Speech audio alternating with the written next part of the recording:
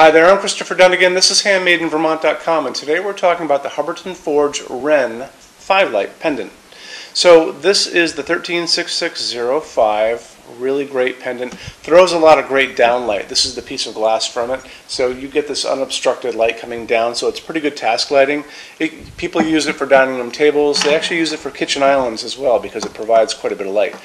So let's get into the size to begin with. We're going to be talking about the fixture body. That's the bottom part. So from the lowest piece of glass to where these telescoping rods begin above and not including the rod. So this is 8, 8.4 inches tall. 40 inches wide and the depth is 5 inches. So it's a good size fixture.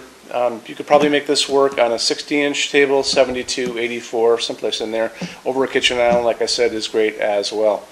So why don't we jump into um, the overall height. If you guys are familiar with Hubbardton Forge, they have a patent on this telescoping rod idea. And what happens is there's a little friction sleeve hiding inside of what's this piece here, which is a, called a clutch. And there's a, um, a little hex nut right there.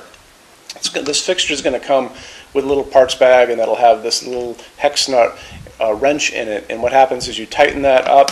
And once you tighten up that little screw what happens is you can't Uh, you can't make it go up and down, so it won't telescope. During your installation, you can telescope it to kind of get it up and down to where you want it to be, and after that is when you trim your wires up above. So now we're going to be talking about the ranges, and when we talk about ranges, we're talking about what's called overall height, and that's going to be from the very bottom of the fixture to the ceiling itself. So the short is 27.8 to 38.6, standard is 36.9 to 47.8, Long is 46.2 to 57. So if you need the shorter than the short, so you need to come down shorter than 27.8, we do customs every day, all day long. So if you need it longer than 57 inches, ditto, same deal.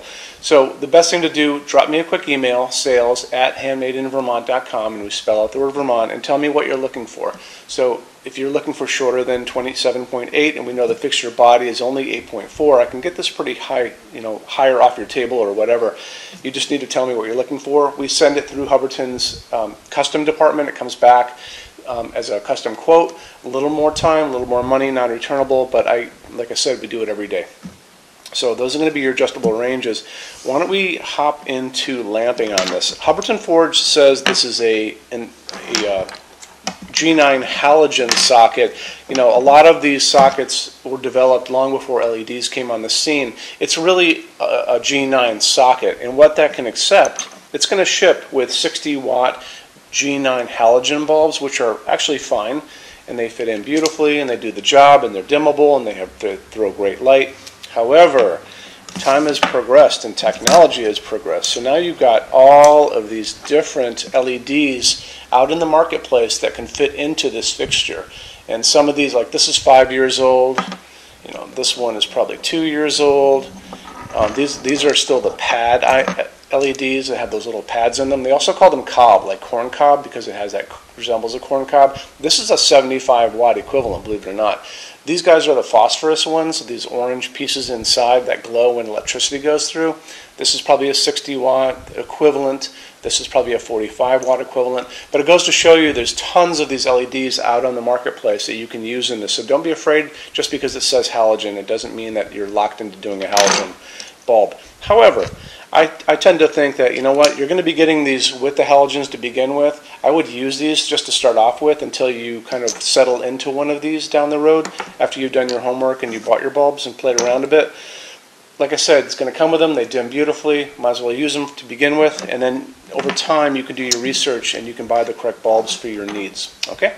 So that kind of covers the lamping. This is going to be using uh, two of these stems going up to a 12 inch by 5 inch rectangular canopy on the ceiling. That's going to be going over one standard junction box. This is slope ceiling adaptable, has a little knuckle right there. See how I'm bending that? And this is going to allow this to be slope ceiling adaptable in one direction only. So what happens is, like the other stem would be here, uh, has to has to be uh, um, go on a slope ceiling this way, One stem can't be longer than the other. If you want me to go over details, you can give a call 802-446-2400. I can kind of walk you through that part. If you have a slope ceiling, if you have a flat ceiling, you're good to go either way. Okay? So let's get into glass. You're going to have a number of different glass options on this. This is the piece of glass that goes onto it. This is going to be available in, in uh, three different opaque glasses, and there's also a clear glass that has a little white diffuser, glass diffuser on the inside. So we'll talk about that one first. So think of this as being clear, just like you know a clear bulb, and then inside of it is a little white, we call it opal diffuser, small one not it's this not this shape, but it is a small little tube that's going to sit inside of this. So um, you get the idea on that. After that, you get into the opaque fixture, uh, the opaque types of glass. This is actually the stone off a showroom floor that I took this off the. We have this on display. So this is your stone glass. This is your opal glass, which is again that white glass warms up a little bit, but it's going to be a crisp contemporary white when it's off. This is pearl. It's an off-white that warms up to a vanilla yogurt. It has a slight swirly pattern hiding inside of it. So you can see it's kind of a linen color when it's off, and, and then this one is the whiter one. And then you got our friend Stone. Stone is going to be that um, kind of uh, beige Vermont marble look, has little striations hiding in inside, and it ambers up quite a bit. So this is going to be the more rustic one. This is going to be the contemporary one, and this is going to be the one kind of in the middle of it. And then after that, you have that clear one with the uh, little opal diffuser inside. To me, that's going to be a contemporary one as well. So those are going to be your options for glass on this, and it's a hand-blown glass. So remember, these little striations are going to be very random on this. Okay. So why don't we get into metal finishes? If you're on our website, handmadeinvermont.com, midway down on the left-hand side in those red tabs, there's a finishes help guide. Give it a click for me. You're going to see a picture of a video screen of me talking to you guys about the differences in Hubbardton Forge finishes and how they look on different types of forging. It's really important to watch that video. There's a down below, scroll down a little bit, there's a color chart of nine different finishes. Those are the finishes this is available in. Um, there are pictures with the letter A on them, pictures with the letter B on them, and that's going to kind of show you this range you can expect to see depending on the finish and a lot of other variables all talked about in the video up above. So watch the video, go back down and kind of use that chart to go back and forth and you'll understand their finishes. When you're done with that, go back to that chart and click on any of those finishes with the A's and B's on them and you're going to see a bunch of pictures pop up in whatever you guys just clicked on. So it's another uh, bunch of more examples of what you're looking at.